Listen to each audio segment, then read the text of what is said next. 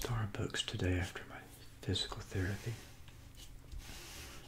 And I got something called a Royal English um, Royal English specialty tea, something like that.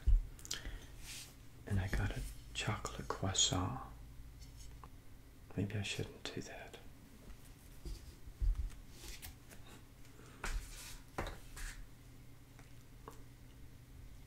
It's already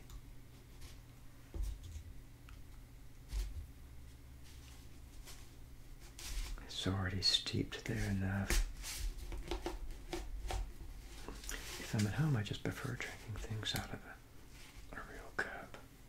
I think that's what I want to do. Let's see how this works. What could possibly go wrong?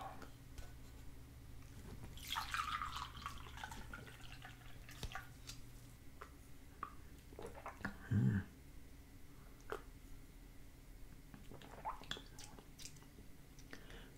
Royal English or something like that.